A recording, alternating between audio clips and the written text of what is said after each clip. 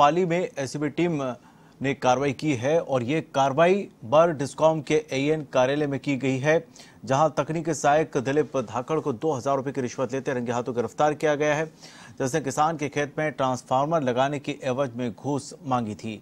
जानकारी के मुताबिक परिवादी से दिलीप धाकड़ ने चार हज़ार पाँच सौ रुपये मांगे थे। इस मामले में उपभोक्ता दो हज़ार रुपये पहले दे चुका था, लेकिन शेष दो हज़ार रुपये देते समय आरोपी ट्रैप हो गया।